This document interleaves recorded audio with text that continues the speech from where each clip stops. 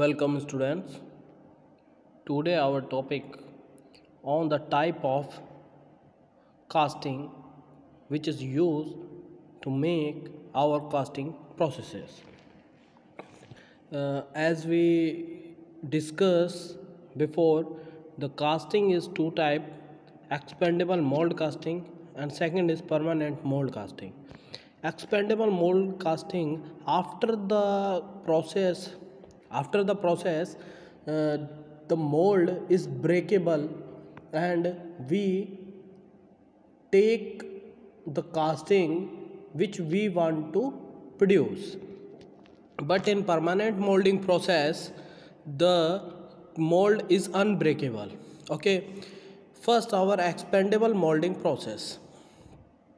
In uh, expandable molding process there are many type of uh, casting present uh, as you see in the scan the shell molding first is shell molding in shell molding the shell mold is the cast process in which the mold is thin shell of 9 mm thicker this is made of sand held together by thermosetting resin binder अब देखो इसमें आप देख सकते हो diagram में आप लोगों को साफ़ साफ़ दिखाई दे रहा है इसके अंदर होता क्या है कि a metal pattern is heated and place placed over a box containing sand, mixture with thermostatic resin. अब इसमें क्या होता है कि आप देख सकते हो, जो हमारा पैटर्न था, वो तो है ऊपर हीटेड पैटर्न और नीचे हमारे कुछ सैंड है, जिसके अंदर, जिसमें सैंड हैगी फाइन सिलिका है प्लस में इसमें वाटर होगा प्लस में कुछ बाइंडर्स होंगे। ठीक है? तो ऐसे हम इसको क्रिएट करते हैं। अब देखिए, इसमें हम सबसे पहले क्या करेंगे? सबसे पहले हम क्या कर रहे हैं कि जो हमारी पैटर्न है, उसको हमने फिक्स कर दिया है। क्लैंप कर दिया। क्लैंप की हेल्प से और ये जो हमारा फ्लास्क है बॉक्स है, इसके अंदर हमारे वो सैंड होगी। अब क्या करेंगे, जब हम इसको ऐसे फिक्स कर देंगे, इसके बाद हम क्या करेंगे the dump box is inverted inverted हम इसको करेंगे जस्ट उल्टा कर देंगे so that the sand and resin mixture fall on the hot pattern अब क्या होगा सैंड और मिक्सचर क्या होगा, वो क्या होगा, गर्म पैटर्न के ऊपर गिरेगा causing a layer of the mixture of partial cure on the pattern surface to form a hard shell अब क्या होगा? वो इसके ऊपर जाकर ग्लू हो जाएगी, चिपक जाएगी और एक हार्ड शेल बन जाएगी। फिर हम इसको क्या करेंगे? वापस सीधा कर देंगे। तो आप देख सकते हो इस डायग्राम के अंदर थर्ड डायग्राम के अंदर थर्ड डायग्राम में देखिए आप, इसमें जो पैटर्न की सरफेस है, उसके ऊपर जो हमारी सैंड है, वो क्या हो गई है? ग्लू हो गई है, चिपक गई है, ठीक है? इसी प्रोसेस को हम इस प्रोसेस को हम टू टू थ्री टाइम्स करेंगे। इससे क्या होगा? जो थिन लेयर हमारी क्रिएट हो रही है पैटर्न के चारों तरफ़ जो थिन लेयर क्रिएट हो रही है, हमको चाहिए वो थिक हो। थिक लेयर हो। ठीक है? अदरवाइज़ क्या होगा? थिन होगी तो वो ईजिली ब्रेकेबल हो जाएगी। ठीक है? तो हम क्या करेंगे इसको? थिन थिक लेयर बनाने की कोशिश करेंगे, जिससे क्या होगा कि हमारी जो मोल्ड बन रही है वो ब्रेकेबल ना हो। अच्छा ये दो तीन बार हम इस प्रोसेस को करने के बाद अब क्या करेंगे? इसको एक ओवन में हीट करेंगे। हीट करने से क्या होगा कि जो हमारी सैंड है, उसने शेप ले ली है, वो हमारे पैटर्न से अलग हो जाएगी। जब वो अलग हो जाएगी तो हमको कुछ ऐसा कुछ ऐसा हमारे पास मोल्डिंग पैटर्न मिलेगा। क्या करेंगे? वो पैटर्न बनाएँगे। अगर हमारी होलो कास्टिंग है तो दोनों को ऐसे एक दूसरे के अपोजिट में बाकी सैंड मटेरियल में फिक्स कर देंगे, नीचे लगा देंगे क्लैंप ठीक है? ये सब तैयार होने के बाद अब इसके अंदर हम क्या करेंगे? लिक्विड मेटल को पोर करेंगे। मेटल को इसमें पोर कर देंगे।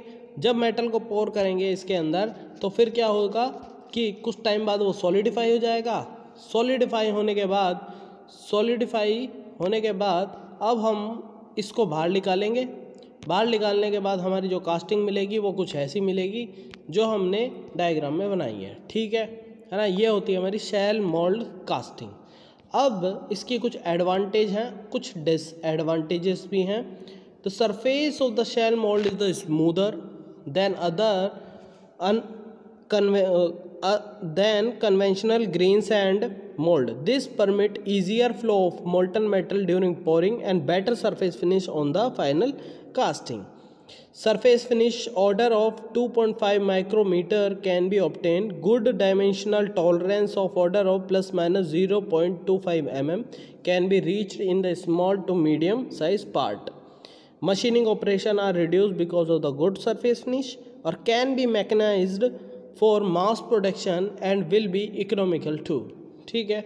ये इसकी एडवांटेज हो गई। डिसएडवांटेज की बात करें तो expensive metal pattern is required and hence not suitable for the small quantity अगर कोई एक्सपेंसिबल मतलब कि हम लोगों को कुछ बड़ा पैटर्न बनाना है है ना? कुछ, हमारी कॉस्टली चीज़ है, कुछ, है ना?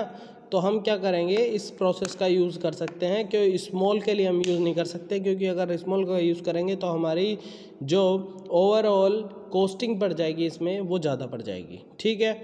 Example of part made using shell mould include gear valve bodies bushings and cam shaft ठीक है? ये बड़े बड़ी चीज़ें इससे बनाई जाती है। नेक्स्ट हमारा एक्सपेंडेबल मोल्ड कास्टिंग में आता है इन्वेस्टमेंट कास्टिंग इन्वेस्टमेंट कास्टिंग क्या होती है? In this casting process a pattern made of wax.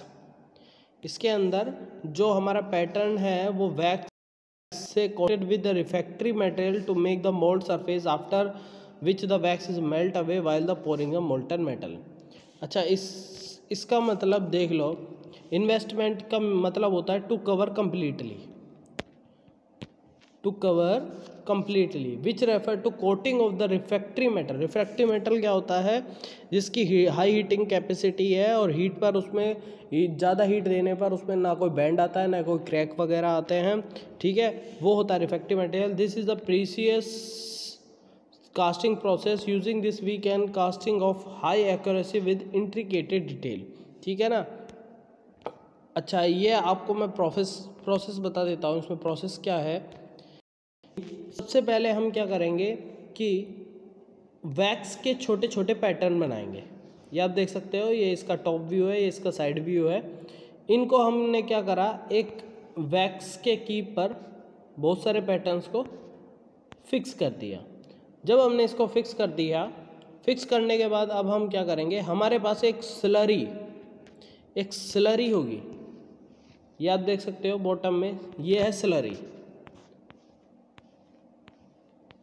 इस स्लरी के अंदर सैंड होगी बाइंडर्स होंगे सैंड होगी बाइंडर्स होंगे और भी बहुत सारे मटेरियल्स होंगे जो क्या करेंगे, एक स्लरी जैसे कि हमारा सीमेंट बनता है सीमेंट को वाटर में मिक्स करते हैं तो वो स्ट्रक्चर तैयार हो जाएगा। उसके बाद अब हम क्या करेंगे कि इस जो हमारा ये हमने पैटर्न तैयार किया है, इसको डिप करेंगे इसके अंदर और डिप करने के बाद इसको करेंगे ड्राई जब हम ड्राई करेंगे तो आप डायग्राम में देख सकते हो, कुछ ऐसी स्ट्रक्चर हमारे पास तैयार हो जाएगी। इसको ड्राई करने के बाद क्या करेंगे, इसी प्रोसेस को, ये जो हमने इसको प्रोसेस करा है डिप करने वाला प्रोसेस इसको टू से थ्री या फिर आप बोल सकते हो टू से फाइव टाइम तक हम इसको क्या करेंगे रिपीट करेंगे, जिससे क्या हो जाएगा टू से फाइव टाइम तक इस पर काफ़ी ज़्यादा कोटिंग हो जाएगी और जो हमारा मोल्ड है, वो क्या हो जाएगा? थिकर हो जाएगा, ठीक है? अब इस प्रोसेस को करने के बाद हम क्या करेंगे? इसको हीट अप करेंगे। जैसा कि आप देख सकते हो डायग्राम में डायग्राम में आप लोगों को दिख रहा होगा कि हम इसको जस्ट अपोजिट करके इसको हीट अप करेंगे तो क्या होगा? जितना भी वैक्स होगा, वो सारा का सारा वैक्स क्या हो जाएगा? इससे आउट हो जाएगा और हमको एक मोल्ड तैयार मिल जाएगा। ठीक है ना? कितना ही कॉम्प्लेक्स शेप हो, वो हमको तैयार मिल जाता है। आफ्टर जब हमने मोल्ड तैयार कर लिया है, मोल्ड तैयार करने के बाद अब हम क्या करेंगे, इसमें लिक्विड मेटल को पोर करेंगे। पोर करने के बाद इसको सॉलिडिफाई होने देंगे। सॉलिडिफाई होने के बाद हम इसको ब्रेक करके तोड़ के हमारी जो कास्टिंग है, वो हमको ईजिली मिल जाएगी। तो आप देख सकते हो wax pattern are the first made several patterns can be attach to sprue to form a sprue tree form a pattern tree if required the pattern tree is coated with a thin layer of the refractive material and lateral cover with a thick coating make the rigid full mold. Heating heating of mold inverted position melt the wax and permit drip out of the cavity. The mold is the preheated to high temperature so that contain contaminants are the eliminated from the mold the mold material is poured and it solidifies the mold is removed from finish casting ठीक है ना ये process होता है refractive material की बात करें जो हमारी स्लरी थी स्लरी में क्या क्या कंटेंट्स uh, होते हैं slurry of very fine grain और other refractory in powder form mix with plaster to bond the mould in to shape the small grain size of the refractory material deliver smooth surface finish and capture the intricated depth of the wax pattern okay इसकी कुछ advantage है। अच्छा ये at our to hard in the binder अभी इस पर क्या है कि इससे पता लग रहा है हमको, हम इसको बार बार ड्राई करेंगे हार्ड करेंगे तो इसमें टाइम तो लगने वाला है, ठीक है? तो इसकी डिसएडवांटेज में भी आ जाएगा ये। एडवांटेज की अगर हम बात करते हैं तो एडवांटेज क्या है? Complex and intricated part can be easily made तो हम इससे क्या कर सकते हैं? कॉम्प्लेक्स पार्ट ईजिली बना सकते हैं। टॉलरेंस इसका zero point zero seven five m m है। Zero point zero seven five m m है और गुड सरफेस फिनिश है। In general addition machining is not required near net shaped part ठीक है ना? एप्लीकेशन क्या है इसकी? Steel stainless steel high temperature alloy can be cast example of part machine part blades component of turbine engine jewellery dental features also made by this process अच्छा die casting next topic is our topic is die casting die casting क्या होता है? पहले मैं आप लोगों को इसका सीधा डायग्राम में दिखा देता हूँ, क्या होता है? कि ये हमारा डायग्राम दिखा रखा है इसमें।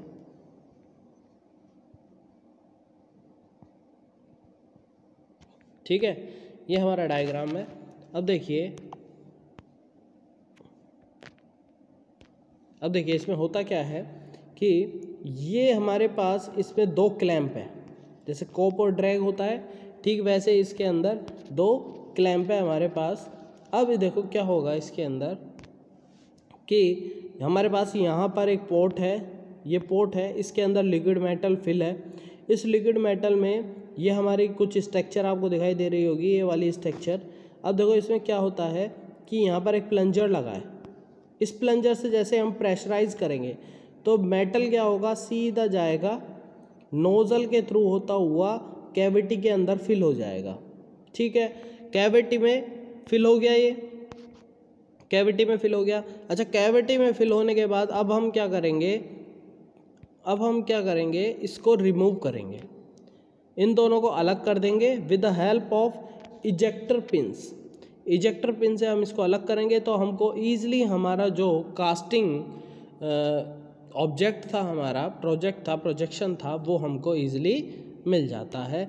ये होती है डाई कास्टिंग ठीक है? तो इसमें आप देख सकते हो in this process high pressure of about seven to three fifty mega pascal is use to pressurise the molten metal into die cavity the pressure is the maintain during solidification category non chamber machining और sorry hot chamber machining और cold chamber machining ये दो type से होता है। सबसे पहले हमने जो डायग्राम की बात की थी, वो हमारा हॉट चैम्बर मशीनिंग था। अच्छा हॉट चैम्बर मशीनिंग में आ, कुछ चीज़ देख लीजिए जैसे कि five hundred parts per hour इसको बना सकते हैं तो ये कॉमर्शियल काम में आता है। इससे हम जैसे कि suitable for zinc tin lead magnesium क्योंकि अगर हम किसी और मेटल से करेंगे जैसे कि आयरन वगैरह के लिए करेंगे तो क्या होगा कि वो हमारे जो इसके पार्ट होते हैं इसके इसके जो हमारे कास्टिंग इंस्ट्रूमेंट के पार्ट्स हैं, इनको क्या कर सकता है? ख़राब कर सकता है, ठीक है ना? तो मैक्सिमम प्लास्टिक वगैरह के लिए इसको काम में लिया जाता है।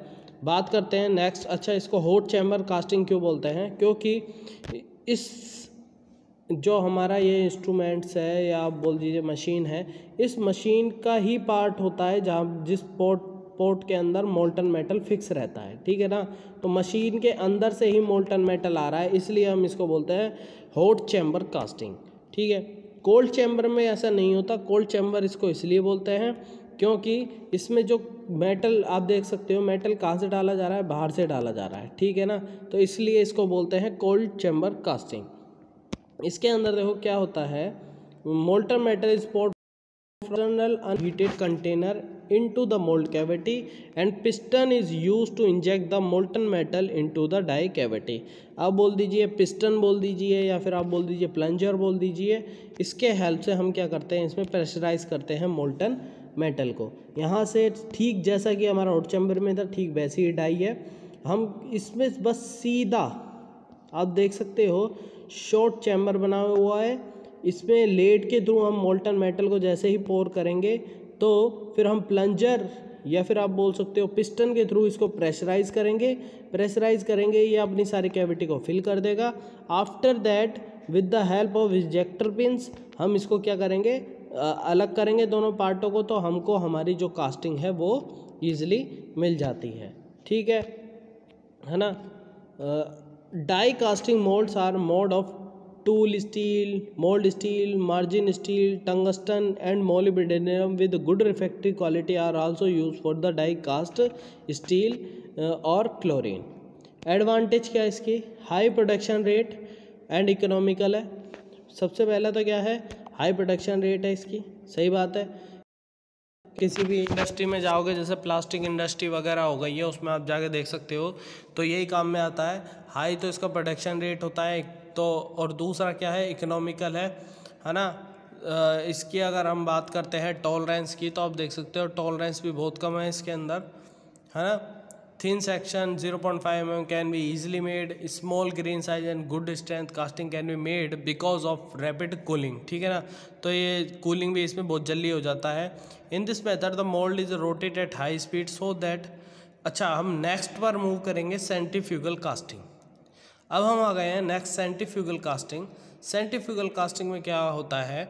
In this method mold is rotated at high speed so that molten metal is distributed by the centrifugal force to the outer region of the die cavity. इसके दो पार्ट है ट्रू सेंटिफ्यूगल और सेमी सेंटिफ्यूगल ट्रू सेंटिफ्यूगल में देखिए क्या होता है? आप देख सकते हो, अगर मैं इसको फ्रंट से देखता हूँ तो एक तो रोलर है हमारे पास अगर मैं इसको सामने से देखता हूँ तो एक तो रोलर है हमारे जस्ट सामने ये वाला, जो हमारा मोल्ड है। एक है ड्रिवन रोलर, जो इसको घुमाएगा, और एक है सपोर्ट के लिए फ्री रोलर, ठीक है? अब आप देखिए, यहाँ से हमने क्या करा? लिक्विड मेटल को डाला। मेटल को जब हमने डाला है तो क्या होगा? ये रोलर घूम रहे होंगे। जब ये घूमेंगे तो इसकी वजह से जो हमारा मोल्ड है वो भी घूमेगा, उसके घूमने की वजह से सेंट्रीफ्यूगल फोर्स की वजह से क्या होगा कि सारा मेटल इसके सरफेस पर ही जाकर क्या हो जाएगा सॉलिडिफाई होना चालू हो जाएगा। ठीक है ना? इसके थ्रू हम इसको सेंट्रीफ्यूगल कास्टिंग ठीक है? Molten metal is a poured into rotating mould to produce a tubular part tubular part का मतलब क्या हो गया? Pipe tube bushings and rings molten metal is poured into horizontal rotating mould at one end the high speed rotation result in centrifugal force that cause metal to take shape of the mould cavity the outside shape of the casting can be non round but inside shape of the casting the perfectly round due to the radial symmetry with respect to force अब देखो क्या है? कि जो इसकी outer surface होगी। Outer surface तो कैसी भी हो सकती है। मान लीजिए ये हमारे पास ऐसी थी आउटर सरफेस ठीक है ना? ऐसा था अंदर से ये हमारा। तो क्या होगा? मेटल तो सारा ऐसे ही फिल होगा। समझ रहे हो? मेटल तो क्या होगा? ऐसे ही फिल होगा। मेटल तो ऐसे ही फिल होगा। लेकिन आप जो इसका अंदर वाला पार्ट देख रहे हो और बाहर वाला पार्ट देख रहे हो तो बाहर वाला पार्ट तो क्या है? अनसिमेट्रिक है, ठीक है? लेकिन जो अंदर वाला पार्ट है, वो कैसा रहेगा हमेशा? रेडियल ही रहेगा, ठीक है? ठीक है है ना? तो ये हो गया हमारा centrifugal casting orientation of mould can be horizontal और वर्टिकल ये दो टाइप का हो सकता है। हॉरिजॉन्टल भी हो सकता है और वर्टिकल भी हो सकता है। बात करते हैं कि सेंट्रीफ्यूगल फोर्स क्या होता है? F equal to M V square by R where F is a force M is the mass and V is the velocity और आर यहाँ पर है इनर रेडियस ऑफ़ मोल्ड ठीक है? Here we define G factor अब ये G factor आ जाता है ratio of centrifugal force to weight centrifugal force हमको पता है क्या होती है और वेट हमको पता है तो काटा तो हमारे पास जो जी फैक्टर आएगा वो आएगा V square by capital R G जो हॉरिजॉन्टल कास्टिंग है उसके लिए वी फैक्टर होता है सिक्सटी टू एटी ठीक है? और अगर हमको निकालनी है कि हमारा रिवॉल्यूशन पर मिनट कितना होगा, कितना हमको देनी पड़ेगी इसको? वेलोसिटी या स्पीड कितनी देनी पड़ेगी?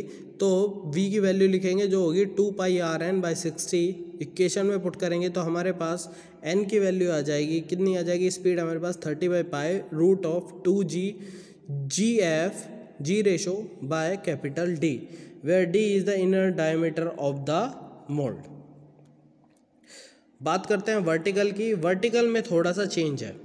अब देखो वर्टिकल के अंदर क्या होगा? वर्टिकल के अंदर जब ये रोटेट होना चालू होगा तो ये तो पक्की बात है कि इसके अंदर ज़्यादा मेटल होगा, वो बेस में फिक्स हो जाएगा। भाई ये वर्टिकल घूमेगा तो क्या होगा? यहाँ पर जो इसकी मोटाई होगी और यहाँ पर जो इसकी मोटाई होगी, वो डिफरेंट डिफरेंट होगी क्योंकि ग्रेविटी भी कुछ काम करती है। घर अर्थ की ग्रेविटेशन फोर्स भी कुछ काम करेगी। तो क्या होगा? उसकी वजह से बेस कैसा होगा? थिकर होगा और जो टॉप होगा, वो थिनर होगा। तो उसके लिए अब हमको सही वेलोसिटी चाहिए स्पीड चाहिए।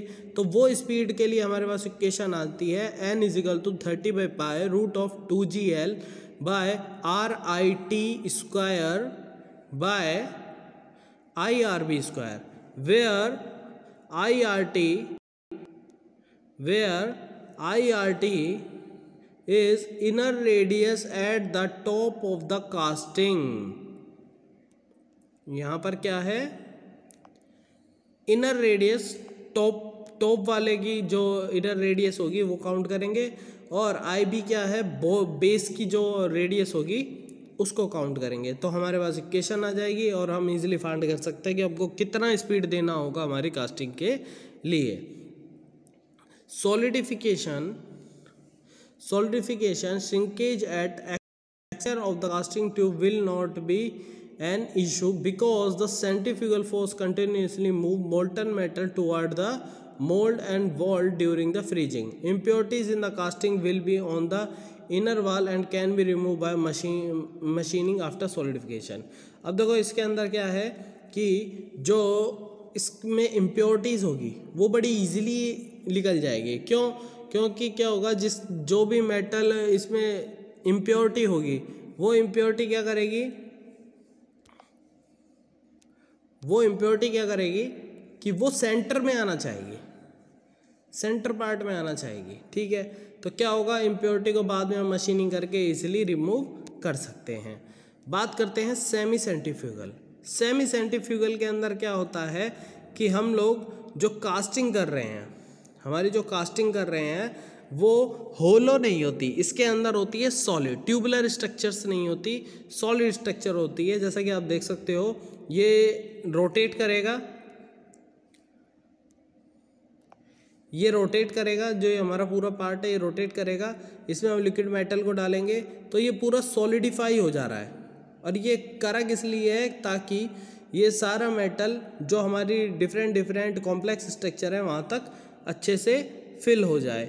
अच्छा इसको बनाने के काम में लिया जाता है, जैसे कि हमारे पास कुछ चीज़ें बनाने के लिए काम में लेते हैं। Such as disc pulley gear sprocket इन चीज़ों को बनाने के लिए इसको काम में लेता है। जैसे कि ये हमारे पास एक व्हील हो गया। इसको बनाने के लिए हम इसको काम में ले सकते हैं। सेमी सेंट्रीफ्यूगल कास्टिंग ठीक है? कुछ ऐसी स्ट्रक्चर्स होंगी, ठीक है? इनको बनाने के लिए हम इसको काम में लेते हैं, ठीक है? इसके बाद होता है centrifuging casting in centrifuging casting in this method several casting cavities are located around the outer portion of the mold and the metal is a feed to this cavity by radial gate from the center the centrifugal force produce sufficient pressure to force the metal into the cavities This method mainly differ from true centrifugal method in that the axis of rotation and that of mold do not coincide with each other. ठीक है जैसा आप diagram में देख सकते हो इसमें ऊपर से हम लिक्विड मेटल को डालते हैं ठीक है है ना? और ये रोटेट होता रहता है, इससे क्या होता है, हमारी जितनी भी कैविटी है इजिली फिल हो जाती है by the centrifuging force thank you very much